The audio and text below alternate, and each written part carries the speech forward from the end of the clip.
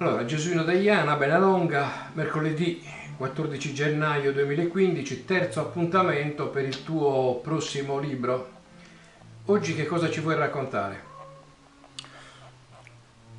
Eh, dunque, eh, beh, eh, dei vari aneddoti che riguardano musicisti con cui eh, talvolta ho suonato e, e altre volte eh, li ho incontrati solo come amici, per cui appunto è il caso di Lester Bowie con cui dovevamo suonare insieme eh, degli Art Ensemble of Chicago e Don Moye che invece andò a buca la storia in quanto il, il, il produttore che era Isio Saba portò Lester Bowie a Bitti a Bitti, eh, a Bitti c'è il vino eh, la Bardente, che, quindi è successo questo che a un certo punto addirittura eh, una cosa curiosa eh, prese eh, il trattore di, di, di Pizzero dei Tenores di Bitti e Lester ci montò su e andò in giro per Bitti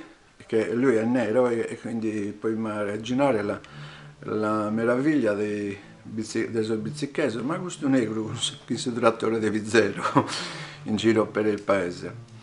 E, che anno era questo, ti ricordi? Credo, se non sbaglio, 88 o poco più.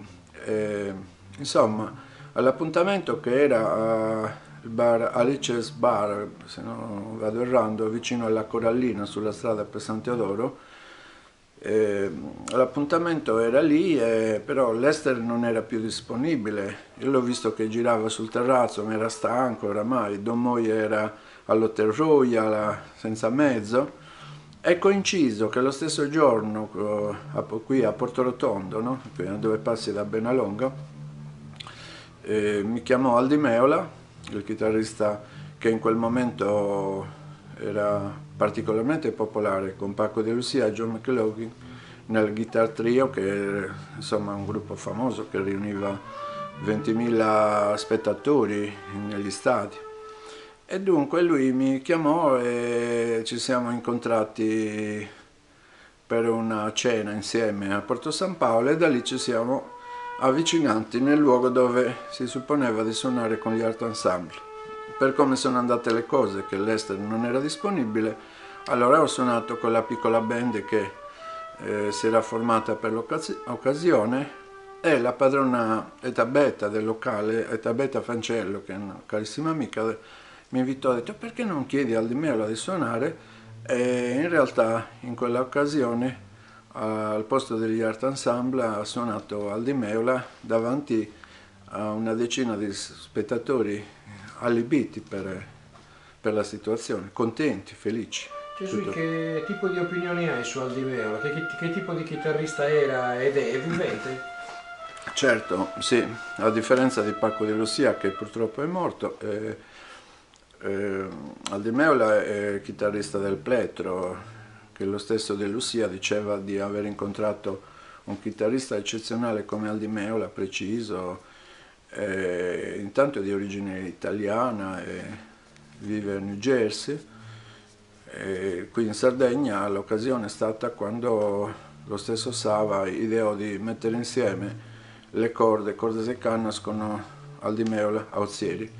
E da lì in poi ci siamo visti più volte, a Sant'Annarresi, a Cagliari. Se tu devi fare una graduatoria dei dieci chitarristi migliori per te o che hanno influenzato la tua carriera artistica, ce lo puoi dire adesso quali sono? Beh, stiamo parlando non di, di un'opinione molto relativa, la mia personale, che mi ha influenzato in assoluto è stato Jimi Hendrix, Paco De Lucia nel, nel senso non, non, di, di, per l'ammirazione che ho per il suo grande talento. E gli altri otto? Solo loro due. Gli altri otto? Sì, ho detto una, una graduazione dei dieci chitarristi eh che beh, tu ritieni... Sono tanti, allora a quei tempi è importantissimo Eric Clapton, Jeff Beck, eh, non saprei altro, diciamo che sono i nomi che più ho apprezzato, sono questi.